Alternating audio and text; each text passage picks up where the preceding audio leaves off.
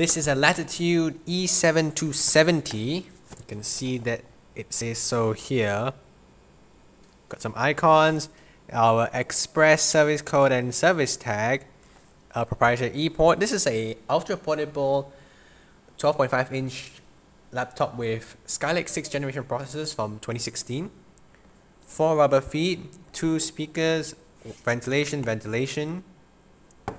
At the top we have dual USB 3.0 ports, proprietary barrel jack charging port, gigabit ethernet ethernet, HDMI, mini display port. Over here we have our headset jack, an SD card reader with a dummy SD card reader with a dummy SD card apology. We have our USB 3 with PowerShare as well as a SIM card slot. On this side, we can have a um, smart card reader if equipped, but this one is not equipped with smart card reader. And we have a Kensington lock as well as ventilation. This is a laptop that can open 180 degrees with the hinge. So it's quite a very flexible laptop.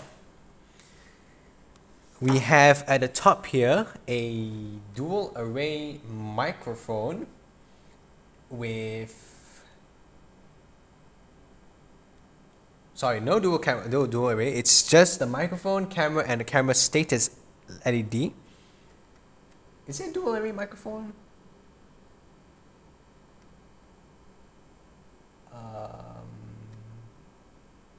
I'm, referring, I'm referencing to the quick start guide. Um, it is the dual array camera it's the dual array left channel right channel stereo recording. We have the keyboard without the point stick trackpad over here with uh, physical left right click button separate uh, power button separated. This is 1.2 kilos with uh, with a 3 cell battery and non-touch display or 1.5 kilos with a touch display and 3 cell battery. So I think this is the 1.2 kilo model. So it's a very compact model uh, very it's ultra portable although it doesn't have the smallest of bezels to be honest. We've got a webcam as I mentioned earlier. So yeah that's a showcase of the Latitude E7270